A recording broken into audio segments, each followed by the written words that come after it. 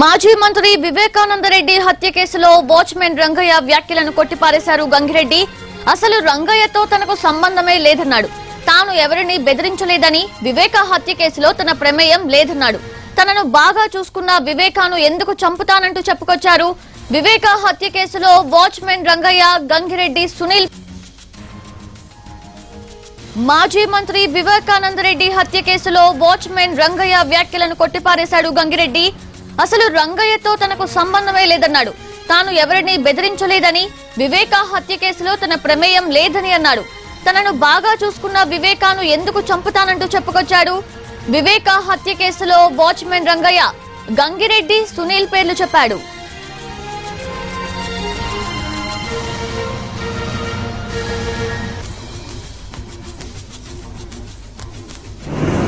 కోర్టులోకి పంపించినారా ఇంకా కోర్టులో ఏం మాట్లాడినా ఏం కథ తెలియదు జడ్జి గారు నిన్ను ఏ విధంగా ప్రశ్నించినారు అంటే నాకు తెలుసు సార్ అని చెప్పినాడు. అంతే. ఐదు మంది చెప్పలే. అది ఏమో నాకే మతికలేదు ఏం చెప్పినాను ఏం కథను. ఎవరు? గంగిరెడ్డి సునీలు.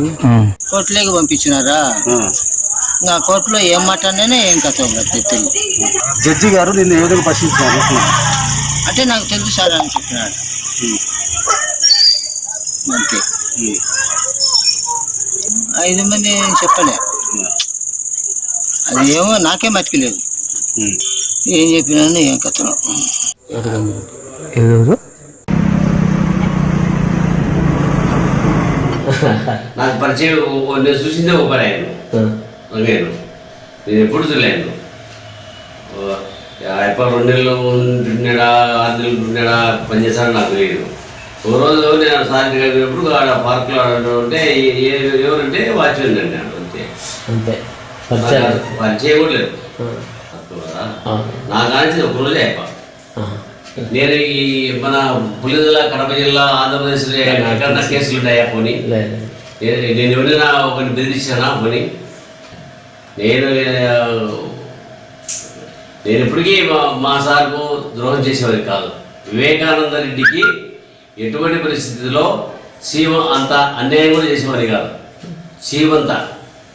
నేను నేను నేను ఆ తప్పుగా ఏమాత్రం నాకు తెలిసింటే మా అమ్మతో నేను సంసారం చేసేట్టు లెక్క గుర్తుపెట్టుకోండి మా తల్లితో నేను సంసారం చేసేటట్టు మా ఆయన ఆయనతో ఆయన విషయం నాకు సీమంత తెలిసిన వివేకానంద రెడ్డి విషయం. నా వివేకాతో మీ సంబంధాలు ఎట్లా ఉండేటి నా పట్ల? బాగుండేవు. ఫస్ట్ బాగుంది. ఆయన నా మీద మంచి గౌరవం.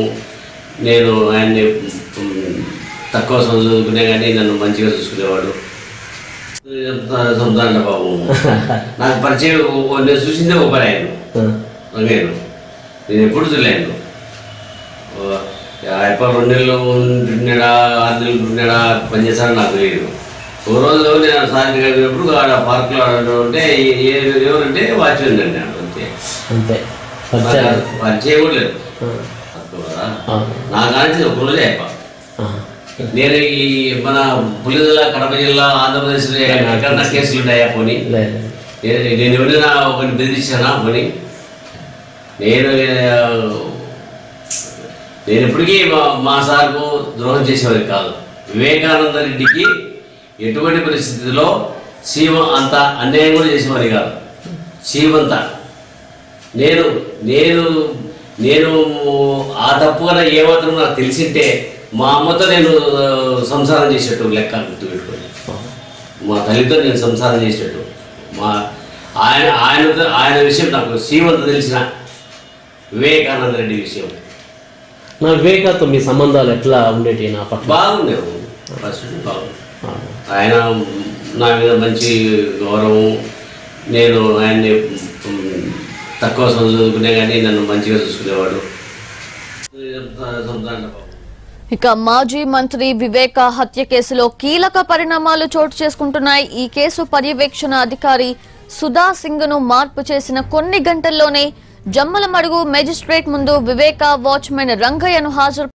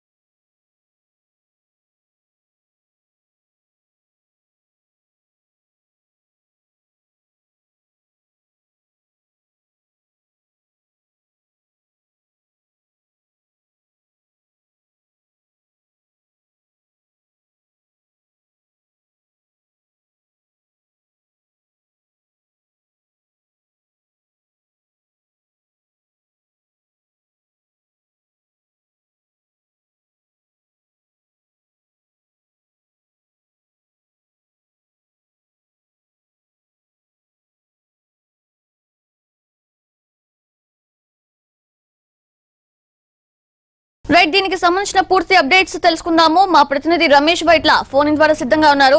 సో రమేష్ వైట్ల చెప్పండి వివేక హత్య కేసులో గంగిరెడ్డి ప్రమేయం ఉన్నట్లు వాచ్మెన్ రంగయ్య చెప్పడం చూశాము అయితే దీనిని పూర్తిగా ఖండిస్తున్నారు గంగిరెడ్డి. అసలు తనకు ఎటువంటి సంబంధం లేదని నన్ను అంత బాగా చూసుకుంటే నేనెందుకు చంపుతాను వివేకను అంటూ కూడా ఆయన మాట్లాడుతూ మనం చూస్తున్నాము. సో ఎలా చూడాలి అసలు? వివేక మృతికి సంబంధించి అటు సిబిఐ గత కొన్ని రోజుల నుంచిగా మార్గాన్ని నిర్వహిస్తుంది. కేసు సంబంధించి విచారణ కొనసాగిస్తుంది. అయితే దీనికి సంబంధించి రంగయ్య మేజిస్ట్రేట్ ముందు వన్ సిక్స్టీ ఫోర్ స్టేట్మెంట్ ఇవ్వడం ఇప్పుడు కలకలం సృష్టిస్తుంది. అయితే దీంట్లో ప్రధానంగా రంగయ్య వాచ్మెన్ రంగయ్య మొత్తానికి ముగ్గురు పేర్లు కూడా ప్రస్తావించడం జరిగింది. అంతేకాకుండా ఎనిమిది కోట్ల రూపాయల సుపారీ హత్యగా దీన్ని రంగయ్య పేర్కొనడం జరిగింది. అయితే దీంట్లో ప్రధానంగా సునీల్ యాదవ్ శ్రీనివాస యాదవ్ ఎర్ర గంగిరెడ్డి ముగ్గురు పేర్లను ప్రముఖంగా ప్రస్తావించినట్టుగా సమాచారం బయటకు వస్తుంది. దీనికి సంబంధించి ఎర్రగంగిరెడ్డి కొద్దిసేపుగా మాట్లాడడం జరిగింది. తాను వివేకను హత్య చేయలేదు. తనను వివేక చాలా బాగా చూసుకుంటాడు. అలాంటి వ్యక్తి చంపుతానని చెప్పి కూడా గంగిరెడ్డి మీడియాకు అటు ఇంటర్వ్యూ ఇవ్వడం జరిగింది. అంతేకాకుండా గంగిరెడ్డి ప్రధానంగా తాను ఇప్పటివరకు ఎవరిని బెదిరించలేదు. బెదిరించిన దాఖలాలు లేవు. తనపై ఎలాంటి కేసులు లేవని కూడా గంగిరెడ్డి పేర్కోవడం జరిగింది. మరోవైపు చూసినట్టయితే ఈ కేసులు అసలు మూడు రోజుల నుంచి కూడా కీలక పరిణామాలు చూసుకుని చోటు చేసుకుంటున్నాయి. దీన్ని కేసు విచారణ చేస్తున్న సిబిఐ డిఐజీ సుభాష్ సింగ్ని మార్చి అటు ఎస్పీ రామ్ కుమార్కు ఆ విచారణ అధికారాన్ని కట్టబెట్టిన కొన్ని గంటల్లోనే వాచ్మెన్ రంగాన్ని తీసుకువెళ్ళి one sixty four statement magistrate ముందు ఇప్పించడం రంగయ్య కీలకమైన విషయాలను ప్రస్తావించడం ఆ తర్వాత దీంట్లో కీలక పరిణామాలు చోటు చేసుకున్నాయని చెప్పొచ్చు. అయితే మరొక చూసినట్లయితే ఈ కేసు సంబంధించి అటు సిబిఐ అధికారులు తమపై థర్టీకి ప్రయత్నిస్తున్నారని చెప్పి అటు కోర్టులో పిటిషన్ వేశారు సునీల్ యాదవ్ శ్రీనివాస్ యాదవ్లు. అయితే తమను మెజిస్ట్రేట్ అంటే న్యాయవాది సమీక్షలో విచారించాలని చెప్పి కూడా వాళ్ళు పేర్కొనడం జరిగింది. కాబట్టి గత మూడు నాలుగు రోజుల నుంచి కూడా అటు సిబిఐ వివేక కేసులో కీలక పరిణామాలు కీలక విషయాలను పురోగతి కూడా సాధించినట్లుగా సమాచారం. అయితే ఫర్దర్గా సిబిఐ ఏం చేయబోతుంది? రంగేల్ స్టేట్మెంట్ అటు పరిగణలో తీసుకొని అదే కోణంలో విచారణ చేస్తారా? లేకుంటే సిబిఐ దగ్గర ఉన్న మరింత సమాచారం ఏమైనా ఉందా అనే కోణంలో విచారణ సమాచారం. సౌజన్య. అండ్ రమేష్ వైట్ల వాచ్మెన్ రంగయ్య కానివ్వండి అలాగే గంగిరెడ్డి కానివ్వండి వీళ్ళిద్దరూ కూడా గతంలో కలిసినట్లు కానివ్వండి వీళ్ళిద్దరికి మధ్య ఏమైనా రిలేషన్ ఉన్నట్లు కానివ్వండి ఏమైనా సమాచారం అందుతుందా? ఎందుకంటే గంగిరెడ్డి చెప్పడం ఏంటంటే అసలు వాచ్మెన్ రంగయ్యతో సంబంధమే లేదు అని చెప్పి. ఆయన ఎందుకు మరి ఈయన పేరు తెర మీదకు తీసుకొచ్చారు? పేరుని రంగయ్య ఆ ప్రస్తావన తీసుకురావడం జరిగింది. ప్రముఖంగా ప్రస్తావించాడు. తనను చంపేస్తానని చెప్పిరా గంగిరెడ్డి దగ్గర ఎర్ర గంగిరెడ్డి తను బెదిరించారని చెప్పి తన వాంగ్మూలంలో అంటే స్టేట్మెంట్లో పేర్కొన్నట్టుగా బయటికి సమాచారం ఇది పూర్తి అంటే ఎస్టేట్ ముందు ఫోర్ వాల్స్ అంటే ఎస్టేట్ రూమ్లో ఈ స్టేట్మెంట్ రంగయ్య స్టేట్మెంట్ అధికారులు రికార్డ్ చేశారు. అయితే ఈ సమాచారం సంబంధించి పూర్తిగా అది వాస్తవమో అవాస్తవమో అని మనం చెప్పలేము. ఎందుకంటే ప్రధానంగా చూసుకుంటే మనకు ఎవరు ఉంటాడు వస్తున్న వివాదాలు కావచ్చు సమాచారం మాత్రం పెట్టుకొస్తుంది దీంట్లో అధికారులు స్పందించలేదు కాబట్టి దీంట్లో అసలు ఏం జరుగుతుందనే విషయాలు కూడా పూర్తిగా సిబిఐ అధికారులు చెప్తే గానీ బయటికి పూర్తి విషయాలు వచ్చే అవకాశం లేదు. So exactly right right thank you Ramesh Vaitla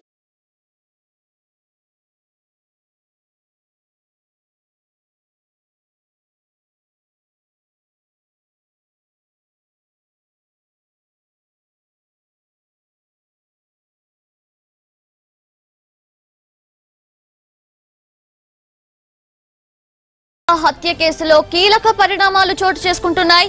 ఈ కేసు పర్యవేక్షణ అధికారి సుధా సింగ్ను మార్పు చేసిన కొన్ని గంటల్లోనే జమ్మలమడుగు మేజిస్ట్రేట్ ముందు వివేకా వాచ్మెన్ రంగయ్యను సిబిఐ అధికారులు హాజరుపరిచారు.